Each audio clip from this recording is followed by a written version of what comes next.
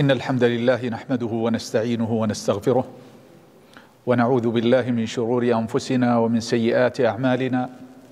من يهده الله فلا مضل له ومن يضلل فلا هادي له وأشهد أن لا إله إلا الله وحده لا شريك له وأشهد أن محمدا عبده ورسوله صلى الله عليه وعلى آله وصحبه ومن سار على نهجه واقتفى أثره إلى يوم الدين. وسلم تسليما كثيرا وبعد.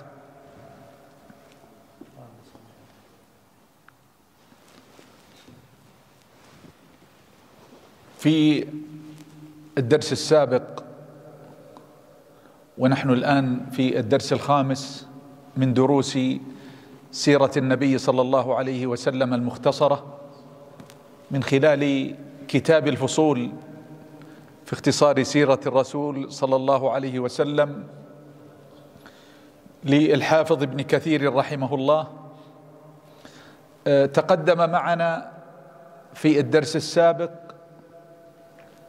بداية الوحي وكيف جاء جبريل إلى النبي صلى الله عليه وسلم ثم إنه مكث بعد ذلك مدة قيل سنوات وقيل أشهر فبعدما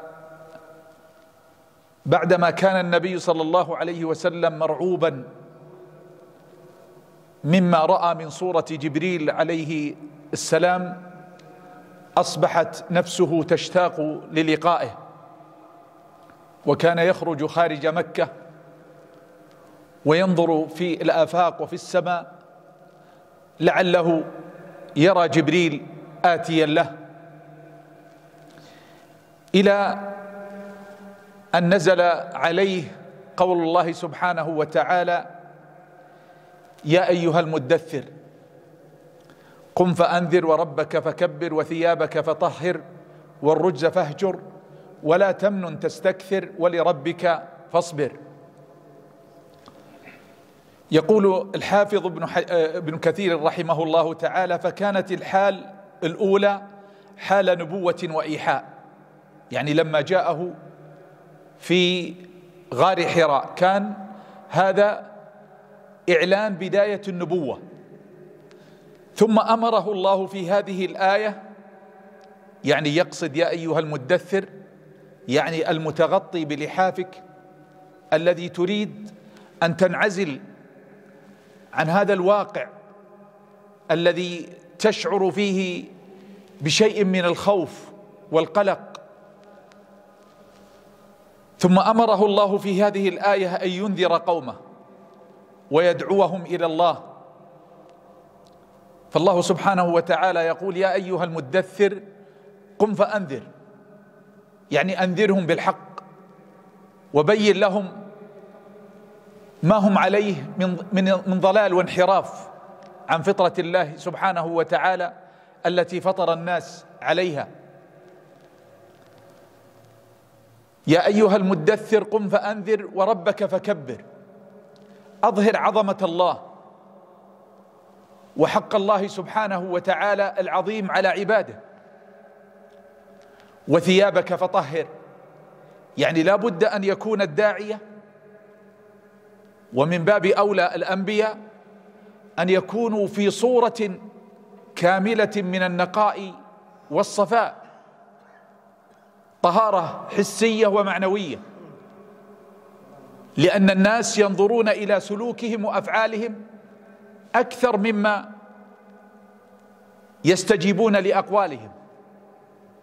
ولذا كان النبي صلى الله عليه وسلم على صورة نقية قبل البعثة وبعد البعثة مما جعل التهم التي حاول أعداؤه أن ينشروها لم تترك أي أثر على دعوته فوصفوه بأنه شاعر ساحر كاهن مجنون أبتر كذاب. لكن كل هذه التهم ذهبت أدراج الرياح. لم يكن لها أي أثر لأن الناس يرون في واقع النبي صلى الله عليه وسلم وفي صورته نقاء وصفاء عظيم. لا يمكن أن تكدرها مثل هذه الأوصاف ومثل هذه التهم الباطلة. قال الله سبحانه وتعالى والرجز فاهجر.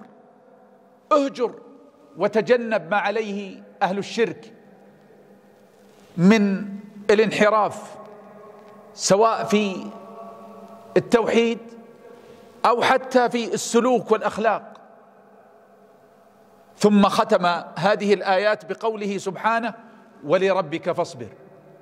يعني إخبارا له أن من قام بهذه المهمة فإنه سيلقى الأذى لا محالة.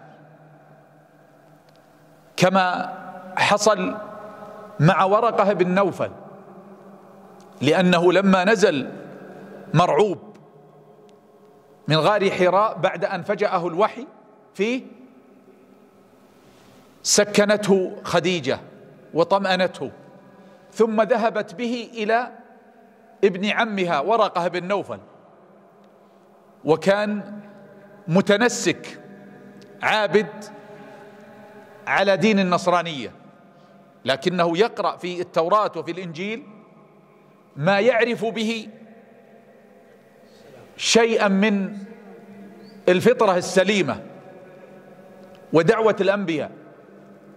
فلما ذهبت به أخبره أن الذي جاءك هو الحق وهو الذي كان يأتي موسى عليه الصلاة والسلام. ثم ختم ذلك بقوله ولم يات أحد بمثل ما جئت به إلا عودي. وإن يدركني قال يا ليتني أكون جدعا حين يخرجك قومك ولم يات أحد بمثل ما جئت به إلا عودي. وهذه الرواية في صحيح البخاري. فقال النبي صلى الله عليه وسلم أو مخرجيهم؟ يعني كان النبي صلى الله عليه وسلم يعرف مكانته عند قومه عند قريش. فكيف يليق أنهم يخرجونه؟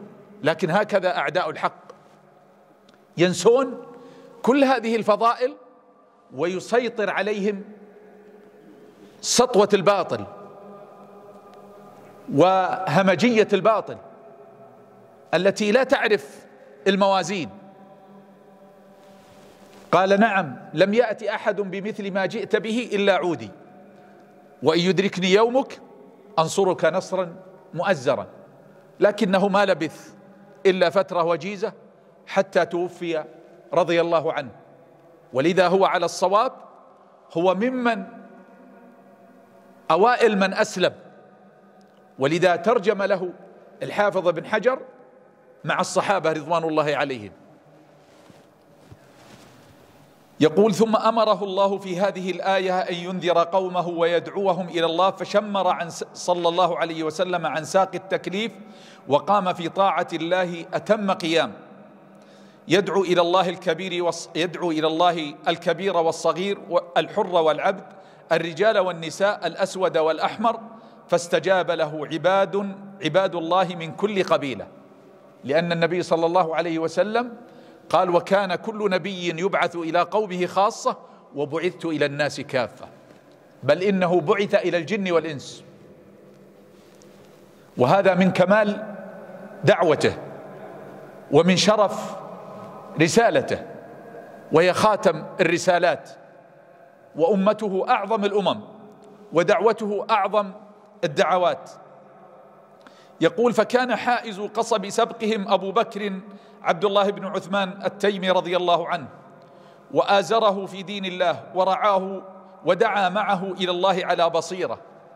فاستجاب لأبي بكر عثمان بن عفان وطلحة وسعد بن أبي وقاص. وأما علي فأسلم صغيرا ابن ثمان سنين وقيل أكثر من ذلك. فقيل إنه أسلم قبل أبي بكر وقيل لا. وعلى كل حال فإسلامه ليس كإسلام الصديق لأنه كان في كفالة رسول الله صلى الله عليه وسلم أخذه من عمه إعانة له على سنة محل يعني سنة ضائقة. وكذلك أسلمت خديجة وزيد بن حارثة.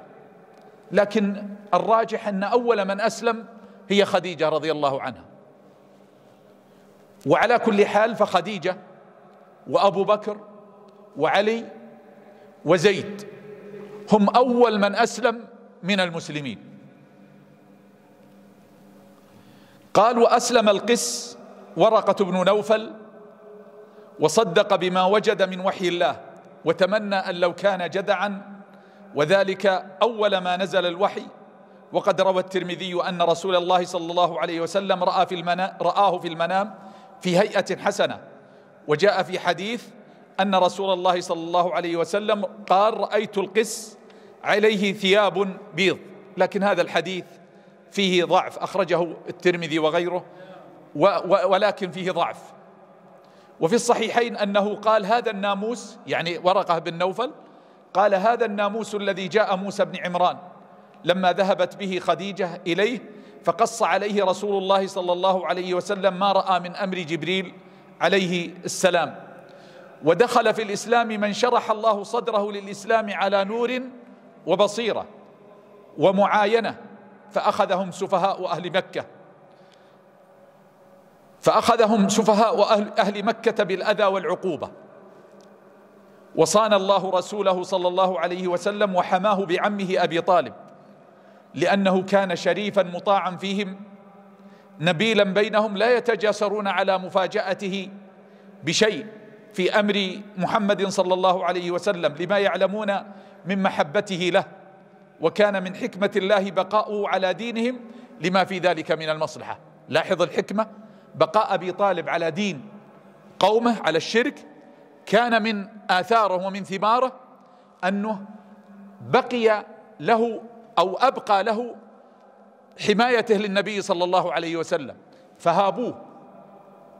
و آه، يعني سلم النبي صلى الله عليه وسلم من أذاهم لمكانة أبي طالب آه، عمه. وأبو طالب هو عمه الشقيق فهو أخو عبد الله والد النبي صلى الله عليه وسلم الشقيق. وإلا فأعمامه البقية هؤلاء ليسوا أشقاء أعمام أشقاء كحمزة والعباس لكن أبو طالب كان عمه شقيق. يقول هذا ورسول الله صلى الله عليه وسلم يدعو إلى الله ليلا ونهارا سرا وجهارا لا يصده عن ذلك صاد ولا يرده عنه راد ولا يأخذه في الله لومة لائم. بالطبع النبي صلى الله عليه وسلم نفذ ما أمر الله به من إنذار قومه فجهر بالدعوة حتى إنه آه، صعد على الصفا في أحد الأيام ثم صاح النبي صلى الله عليه وسلم يا صباحا. وكانت هذه الكلمة تقولها العرب إذا أراد أن يدعوهم لأمر طارئ وأمر عظيم فاجتمعوا. فلما اجتمعوا قال إني لكم نذير بين يدي عذاب شديد. وفيها قال له عمه التعيس الشقي أبو لهب قال تبا لك سائر اليوم ألهذا جمعتنا؟ فأنزل الله سبحانه وتعالى فيه. تبت يد أبي لهب وتب ما أغنى عنه ماله وما كسب سيصلى نارا ذات لهب. وامرأته حمالة الحطب في جيدها حبل من مسد.